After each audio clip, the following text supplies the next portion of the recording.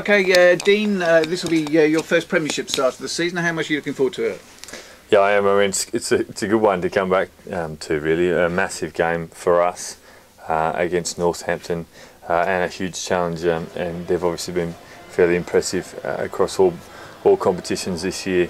Um, yeah, obviously missing a couple of people, but the depth of their squad and the quality of, of their, their team as a whole means that there's no easy game against them, particularly at Franklin Gardens and uh, and the element of Friday night as well. So tough game for us, but one personally I'm, I'm very much looking forward to.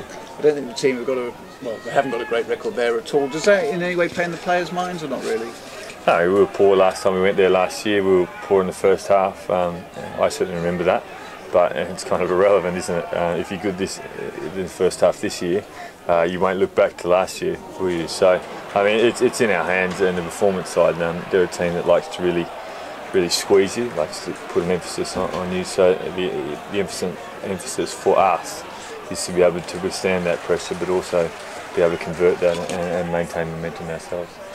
Obviously, a Friday night. Do you, as players, look forward to Friday night games or night games, or do you prefer an afternoon?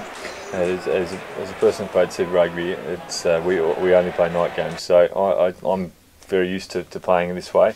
Um, it's a little bit different for others. I mean, the only the only main difference it's a longer day for us. We got to wait that little bit longer, and you got to bide your nerves for a little bit yeah, that little bit longer during the day. So, um, I, I, don't think it's a big factor. Um, it might be wet and dewy, but this time of year it's going to be wet and dewy anyway, so it doesn't really matter.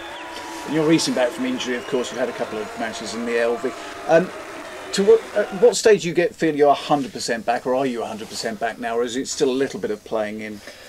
Yeah, well, I certainly wasn't 100% the first game. I was pretty tired, uh, and you know, last week I, I, was I was very happy to get through 80 um, because there, there is there is no substitute for match fitness. So now I, I felt I felt good out there last week. Um, I mean, there's timing elements in, in, contact and a number of things which will get better the longer you play. So uh, I'm hoping to make um, take steps every week I play, but um, hopefully my fitness will be even better than. Yeah, ho- hopefully the hard work's done in terms of getting the fitness, but hopefully also that it will improve as, as the weeks go by. And as a team, you're going really well on three fronts, aren't you? Yeah, uh, I mean it's been a good start to the season, but uh, really the next three games is a real, real litmus test about where we are um, as, as you come up against um, three of the sort of top six sides at the moment uh, in the Premiership, which is a focus for us this year. So, um, yeah, I think we'll have a real chat about how we think the start of the season is in, in three weeks' time. I think we can really talk about it then. But at, the, at this stage, we, have got uh, we've still got a lot to prove in the Premiership uh, and all front, on, on all fronts. But I mean, listen, it could be much worse.